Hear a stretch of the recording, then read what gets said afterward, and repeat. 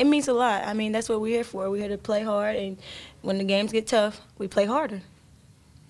For you personally, um, Sharita out today, and I know a lot of that point guard responsibility kind of fell on your shoulders. Um, what did you think, and, and what was your thought process, especially down the stretch?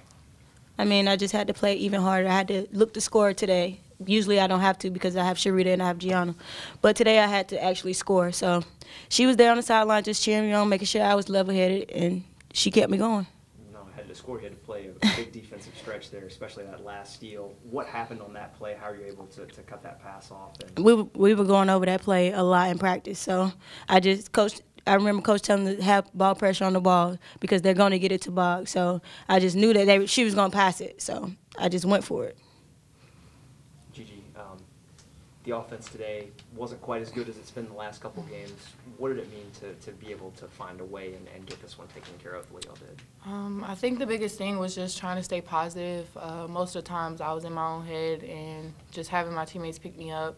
I think the biggest thing was knowing that you just got to play around it. I mean, obviously things weren't going my way. I couldn't hit shots. They were in and out, and that's fine. So now I just stayed from outside and just went inside.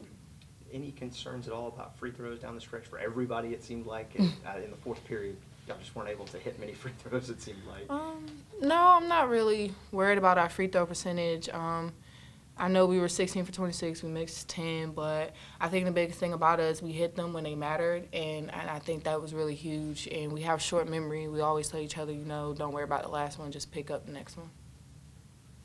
Um, it wasn't just um, free throws in the stretch, but it was also defense. You guys held William and Mary scoreless, I believe, throughout the last five minutes of the game. How important was that, Gigi? Um, I think defense was very important. They're a scoring team, and that's something that we focused on all practice. I just think the biggest thing was, you know, we played really good help side tonight, and that's what we really focused on was always being a help. I mean, of course you want to stay in front, but like if your teammates beat, we know that we got to help our sisters, and we did that so many times, and it helped us down the stretch. Which uh, William and Mary definitely laid it on, laid the defense on more so like in the fourth quarter especially. Um, how, how do y'all handle that, you know, when a team really puts on the defense more? I mean, you just put on a poker face. That's what Coach Barefoot talks about all the time, and we just stay calm. I mean, I mean, if you see our team, anybody can go past anyone. I mean, she breaks presses almost every day, every game. It's just we feel confident. So if I give the ball, I don't have to worry that oh she's gonna lose it. We don't feel like that about each other. We just give the ball to each other, give it up, and just have each other's back in case anything goes wrong. Time for one last question. I don't know.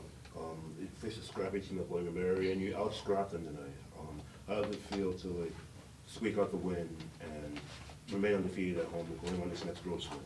I mean, if it's it's very important that we got this win because we lost it. We lost them last time, so we felt like we needed to actually get this win and win like at home because we felt like the other game we were really we were really down. We were really like not into it, and we weren't believing in each other. In this game, we were. So we just kept our head strong and just played.